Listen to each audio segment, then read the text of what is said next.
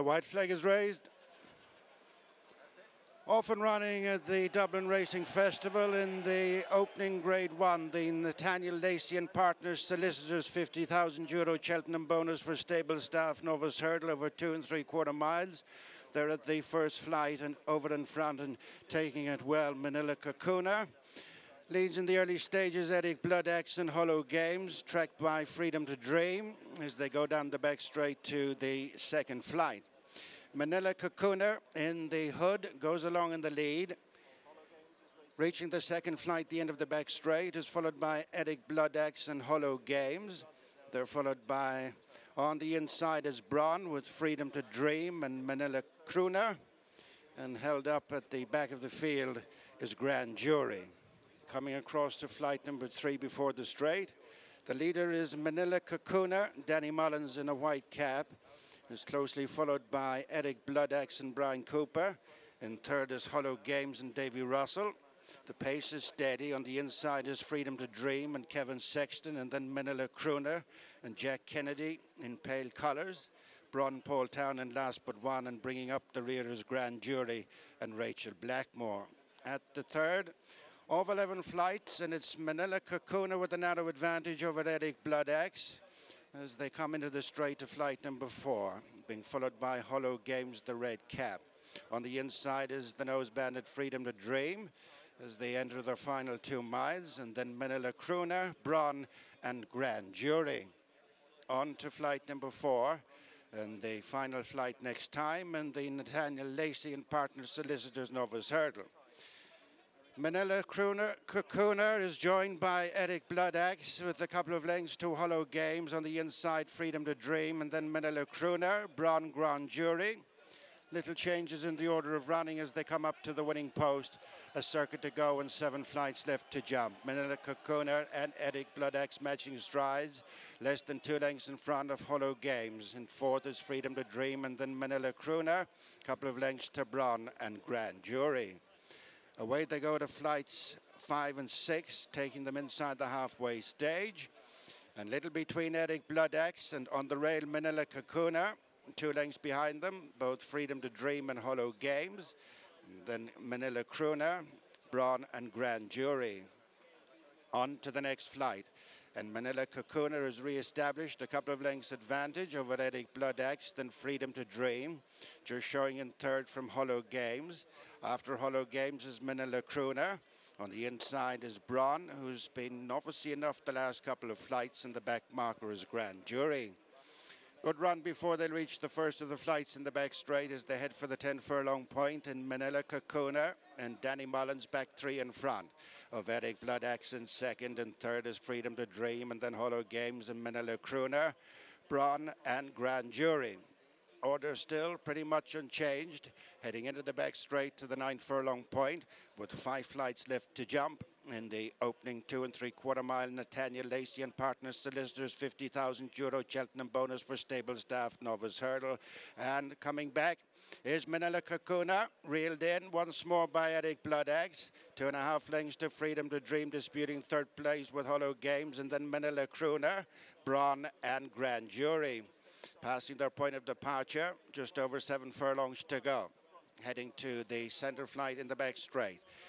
No changes up front. It's Minella Cocooner continuing to show the way to Eric Bloodaxe, who's been a handy second throughout. Got that flight wrong, Eric Bloodaxe. Then Freedom to Dream. Squeezed for a stride or two and going up in between horses as Hollows Games, who's followed by Minella Crooner, Braun, and Grand Jury. Last flight in the back straight three from the finish. Minella Cocooner attempting to make every inch of the running. Eric Bloodaxe, again a slight mistake with Hollow Games going up in between horses. Freedom to Dream the inside, and then Minella Crooner, Braun and Grand Jury.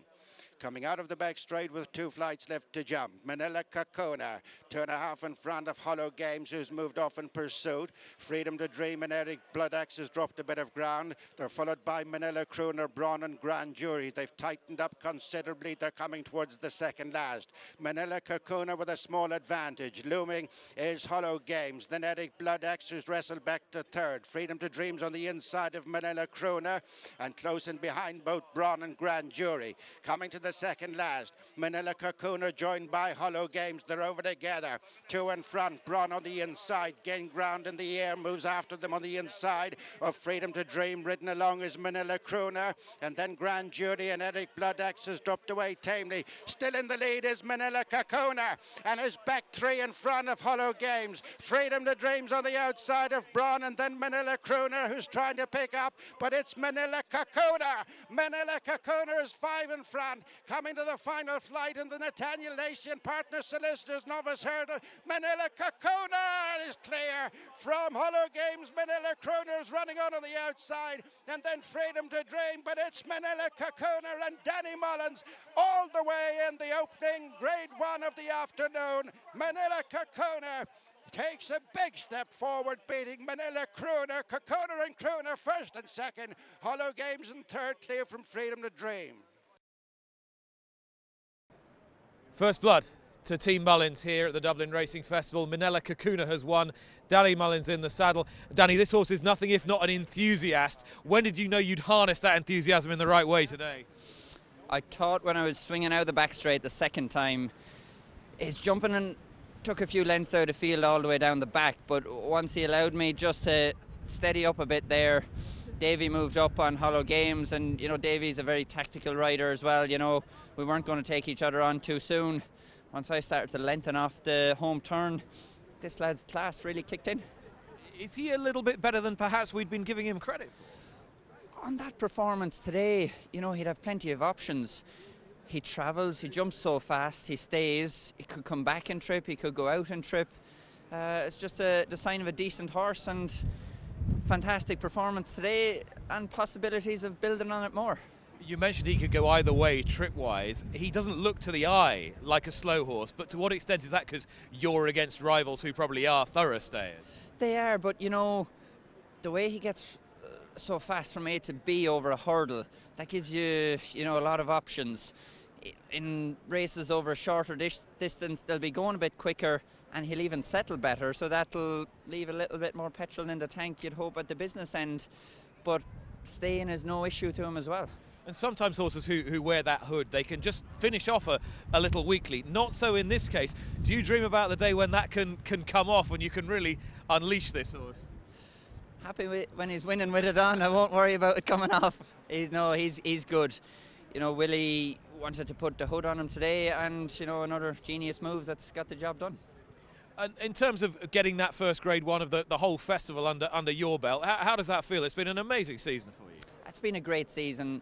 You know, I'm just lucky that I'm riding a lot of good horses. There's a great team at home in Willie's, and the, there's a lot of other yards that I ride for as well, and they make my job easy. Danny, well done. Thank you.